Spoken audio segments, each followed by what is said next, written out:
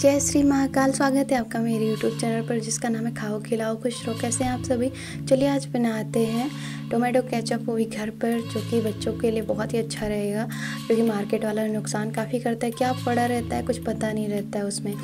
तो आपको सबसे पहले कढ़ाई में डालना है एक छोटा स्पून तेल।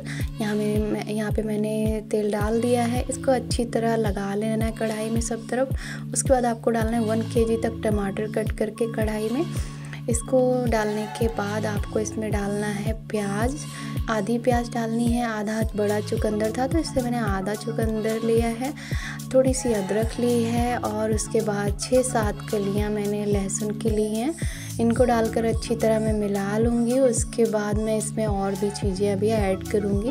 पहले इनको अच्छी तरह मिला लेंगे ताकि टमाटर में हर तरफ़ से जो हल्का सा तेल लगाए ना, वो हर तरफ़ मिल जाए। तो वैसे तो पानी छूटेगा इसमें बहुत सारा। लेकिन मैंने थोड़ा सा टमाटर डाल ऑयल लगा दिया, इससे अच्छा रहेगा।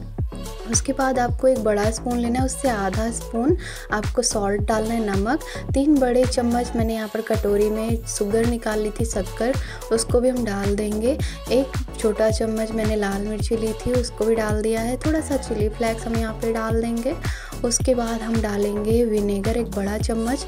तो यहाँ पे मैंने विनेगर लिया है, लेकिन वो जो जिस कटोरी में लाल मिर्ची थी ना, उसी में निकाल लिए ताकि लाल मिर्ची का पाउडर भी वेस्ट ना हो, जो कटोरी में ऑलरेडी लगा हुआ था। तो विनेगर को उसमें मिलाकर हमने यहाँ पर डाल दिया है और इसको अच्छी तरह मिक्स कर लेंगे, बहुत अच्छी तरह से, ताकि सब तरफ़ शुगर मिल जाए और सब सारी चीज़ें एक तरफ़, एक दूसरे की तरफ़ मिल जाए। उसके बाद हम इसको ढक देंगे। पाँच मिनट तक लगभग इसको हम पकाएँगे तेज़ आँच पे ताकि इसका जो पानी है ना टमाटर का, वो अच्छी तरह से सूख जाए। पानी बहुत ज़्यादा छूटता है तो पानी सारा सूख गया है। थोड़ा सा ही बचा है अब तो हम गैस की आँच कर देंगे बंद और इसको ठंडा होने के बाद ही मतलब हम इसका पेस्ट बनाएँगे। तो पहले हम इसको रख देते हैं साइड में, ठंडा हो जाएगा। यहाँ पे हम देखिए ठंडा कर लिए हैं। अब हम इसको डालेंगे मिक्स के, मिक्सी के बड़े वाले जार में और उसके बाद यहाँ पे मैं इसको पेस्ट बना दूँगी। तो इतना अच्छा इसका पेस्ट बनाना ना कि आपको छानना ना पड़े। तो अगर आप मतलब थोड़ा कम पीसेंगे तो आपको छानना पड़ेगा और बहुत ज़्यादा पी, पे, पीस देंगे यानी कि पाँच, दो तीन मिनट अच्छे से चला देंगे ना मिक्सी को तो एकदम अच्छा सा गाढ़ा गाढ़ा पेस्ट बन जाएगा और आपको छानना नहीं पड़ेगा।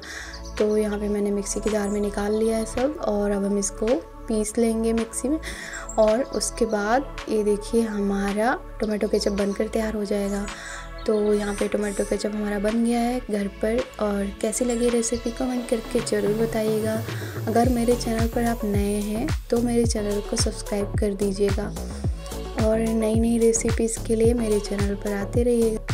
वीडियो अच्छी लगी हो तो मेरे चैनल को सब्सक्राइब कीजिएगा और वीडियो को लाइक और शेयर ज़रूर कीजिएगा।